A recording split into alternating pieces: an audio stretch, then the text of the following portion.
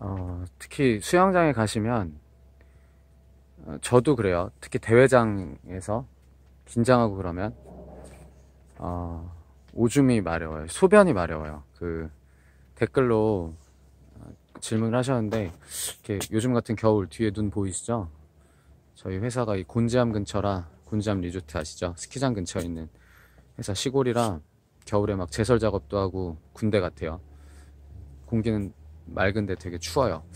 그 수영하실 때 물에 계실 때 소변이 마려운 이유가 제가 알기론 두 가지예요. 하나는 이 체온이 왜 겨울에 더 소변이 많이 마렵냐면은 몸이 밖은 찬데 체온은 높죠. 그래서 그 균형을 맞추기 위해서 열을 배출한다고 저는 그렇게 배웠어요. 그러니까 수영장 물도 보통은 체온보다 낮죠. 그러니까 오줌이 마려울 수 있어요. 그래서 어, 되게 과학적인 설명이죠. 그래서 체온을 맞추기 위해서 소변이 마려운 것이 하나고 두 번째는 어, 잠수를 오래 할 때 잠영해 보신 분들은 한 번쯤은 느끼셨을 거예요. 소변이 마렵다는 느낌.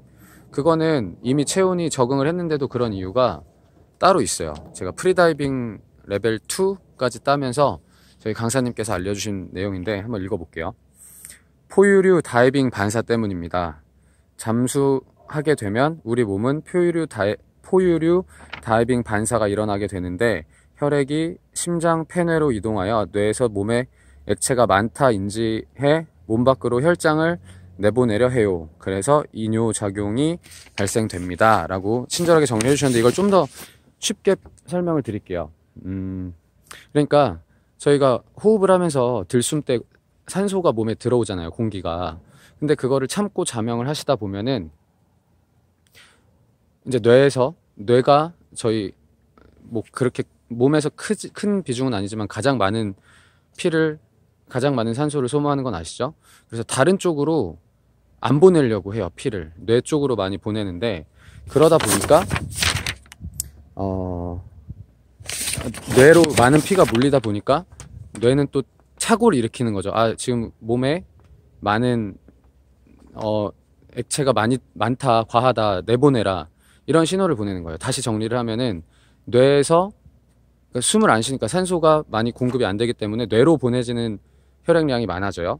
그럼 뇌에서는 어 우리 몸에 지금 물이 많다라고 잘못된 신호를 보내기 때문에 소변이 마렵다는 거예요. 근데 이게 꼭 수영장이나 뭐 잠수할 때뿐만이 아니라 긴장하시면 뭐 면접 전에라든가 뭐 중요한 시험을 앞두고 긴장될 때 아 오줌 마려 이런 느낌 받으셨죠? 그게 같은 것 같아요. 그러니까 뇌에서 그러니까 뭐 뭔가 어떤 스트레스를 받았을 때, 뭐 누구랑 싸우, 싸웠을 때 이럴 때 이렇게 어, 뇌에서 스트레스를 받고 이러니까 더 많은 산소를 더 많은 피를 뇌로 보내 보내주니까 뇌는 거기에 따라서 어 이 이뇨 작용 혈장이 너무 많다. 그래서 오줌이 마려운 것 같아요. 수영장 들어가시기 전에 쉬 마려운 것도 이거, 이거랑 비슷한 거 아닐까요? 그러니까 수영하실 때 체온 수영장 물이랑 체온 차, 체온 차이 때문에 만든 그 느끼는 오줌 마려운 느낌과 그리고 들어가시기 전에 어떤 긴장감과 두려움 때문에 이럴 수 있을 것 같아요.